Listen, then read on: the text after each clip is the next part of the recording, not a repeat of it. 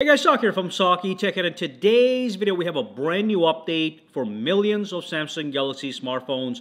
This update is for an exclusive Samsung app that takes your display and it actually extends display related features for Samsung Galaxy smartphones. So the name of the application is known as the Display Assistant application and it adds six new features to your display as an extension and you can customize it. So first, let me show you how to download this and then I'm going to show you guys what these features are one by one. It just got recently updated as well, so it's even more enhanced and works better. So to download this application, what you want to do is you want to click the link down below. That's going to take you to my website and it's going to be right over here. It's the Display Assistant.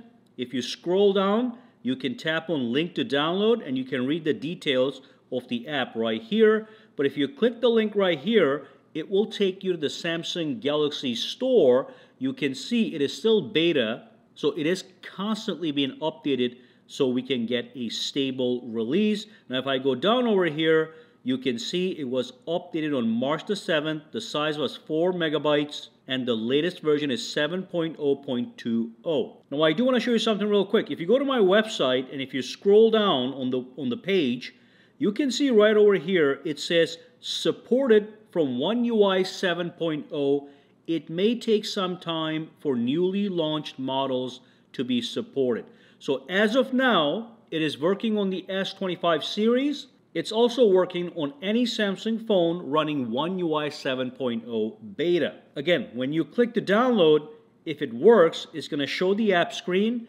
If it doesn't show the app screen, it's not ready yet for your phone. But anyway, let me open this up and you can see we have six features. Now the first one here is the app screen timeout feature. You can set a screen timeout for each application. Now normally if you go to your settings and go to display, you can see you have a screen timeout option right here, okay? Now once you set this up, this applies a system-wide screen timeout, all right? But with the new feature, you are able to set a screen timeout for a specific uh, application.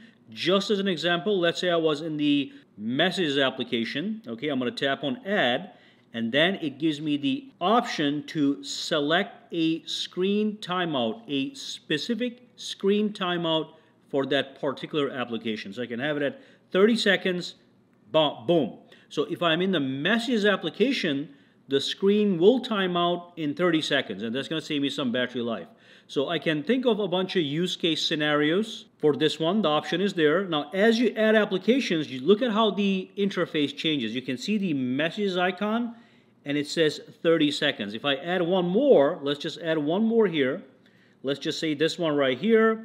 Uh, let's say one minute. Look at this. If I go out, now it shows one minute for that application and 30 seconds for that application. Now, the next thing that we have is we have the keep screen on. So if I tap on this one, it says the screen will stay on for 30 minutes. So if you want the screen to stay on for 30 minutes for whatever reason, again, I can think of use case scenarios. You simply tap over here and you add this quick button. So when you add this button, that quick setting button goes to the top into my quick toggles right over here, okay? So it's right there. If I tap this, it's going to keep the screen on for 30 minutes, again, for whatever. These are extensions that give you additional capability. So we have that one. And then we have the brightness limit profile. If I tap on this one, I can do standard or light.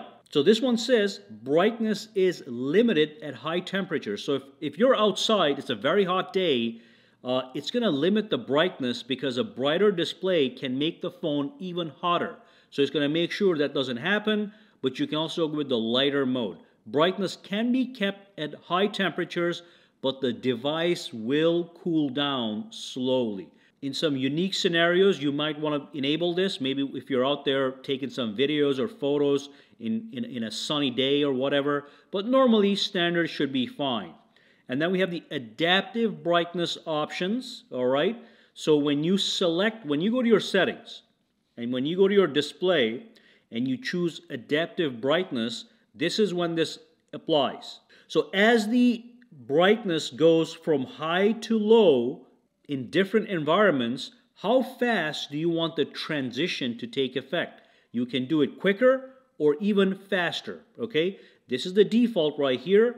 It kind of gradually fades to a lower brightness, but if you have at 4x, it's just going to go from high bright to low bright as you change your environments. Maybe if you go from a dim environment to a bright environment, the display brightness will go down quicker this way than this way. So that's a great option as well. And then what we have here is we have the standard refresh rate apps. I love this feature. So I can add applications. Let's say I want to go to my calculator application. So it's going to be under tools. I like the way that they categorize everything. So tools, here's the calculator. I'm going to tap on add. And now what's going to happen is when I launch the calculator application, so right now I'm at 120 hertz, okay? So it's going to be nice and smooth. But if I launch the calculator application, do I really need the 120 hertz? I don't. So it is going to switch over to 60 hertz. It is running at 60 right now. And you can see, you cannot tell the difference because with the calculator, there's no scrolling. It's just a couple button taps and a couple calculations, okay? And as soon as you exit, it goes back to 120 hertz, okay? So you can add applications.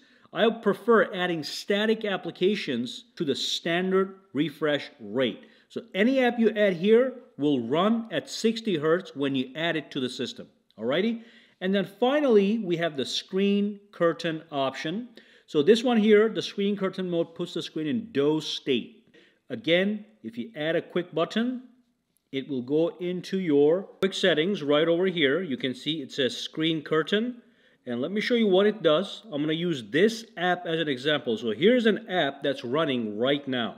So if I want this app to continue running in the background, I can activate the screen curtain and have the app run in the background. And you can actually see it happening in real time. So let me show that here. So I'm going to tap on screen curtain.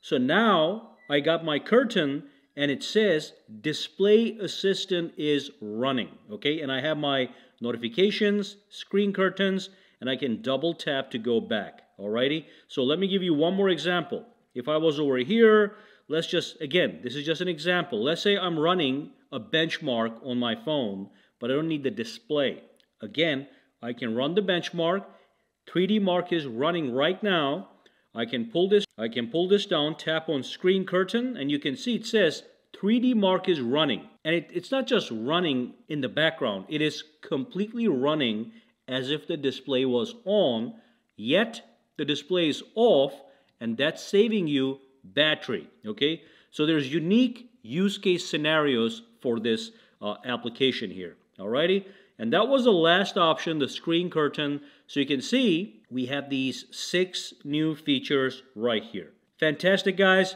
Any questions, comments, or concerns, drop them down below. Let me know. For now, have a fantastic day.